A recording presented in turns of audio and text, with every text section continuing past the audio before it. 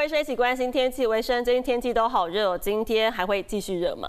其实这几天的天气都蛮像的，还是会很热。而各地呢，普遍的高温落在三十四到三十六度，尤其在新北市、屏东县还有台东县，都可能出现局部三十八度左右的极端高温。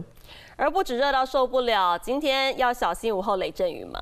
没有错，尤其是山区跟西半部的地区，还是要特别当心午后的雷阵雨，尤其山区的雨势还会更加明显。好的，更多的降雨资讯，把时间交给伟生。好的，各位观众朋友，现在大家看到的就是新北市九份的即时影像。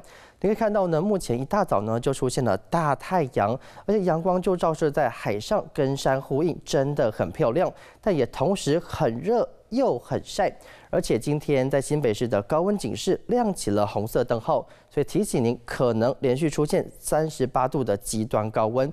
而究竟会有多热？我们透过昨天的高温分布让您来参考。昨天全台湾最热的地方就出现在新北市的三峡区。在中午的十一点四十分左右，测到三十八点八度的高温，而中部的第一名出现在彰化县的园林市，温度来到三十七点二度。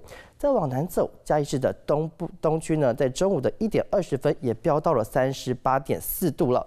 因此提醒您，在中午前后不要在户外待太久，要记得多多的补充水分。至于今天的高温警示，带领来看，台湾不只是烤番薯，甚至变成了红番薯。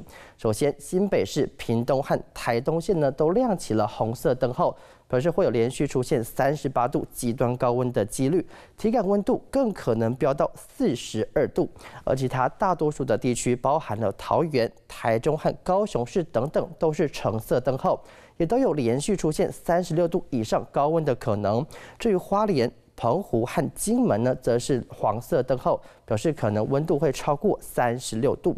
而不止温度很吓人，紫外线也很强。全台湾除了新竹市红色的过量级之外，其他全都紫爆了，来到了危险等级，表示曝晒的时间非常短，在短短的十五分钟之内，没有防护的情况之下就会被晒伤。而红彤彤的过量等级呢，也不能够大意，表示呢，在大在太阳底下呢，二十分钟就可能会被晒伤了。而根据卫福部公布的最新统计，七月份呢，截至十四号为止，热伤害的就诊统计已经有六百二十九人次了。因此要提醒全台湾的观众朋友，防晒工作一定要做好。接下来，透过卫星图带你看到各地这么的高温炎热，主要就是因为持续受到太平洋高压的影响。台湾的陆地上空几乎是没有什么的云来遮蔽。而至于大家也都很关心的台风资讯，气象组就观测了，南方的水汽还是比较多。你看到这一块还是相当的明显，因此呢，可能会逐渐会有一些热带的系统发展。但可以确定的是，在本周之内对台湾是没有影响的。但究竟会不会发展成热带性低压，或者是生成为台风，还得持续的观测，而我们也会随时带您掌握。刚刚有说到了，雨还是会持续的下，那降雨的趋势带您深入来看。一直到礼拜六，台湾附近吹的是东南风，因此呢，迎风面的东南部以及恒春半岛偶尔会有短暂阵雨，而午后的雷阵雨呢，会集中在山区以及西半部地区。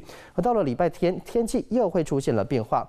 在南方云系会逐渐的往北来提升，而南部以及东南部地区呢，就会有局部的短暂阵雨或者是雷雨。而中午过后，中部以北、东北部地区以及东部的山区都还是会有雷阵雨。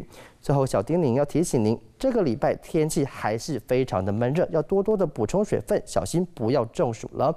另外，紫外线都达到了过量以及危险等级，防晒工作一定要做好。还有午后的雷阵雨会来的又大又急，尤其是山区跟西半部地区，出门一定要带把伞。以上就是这节的气象。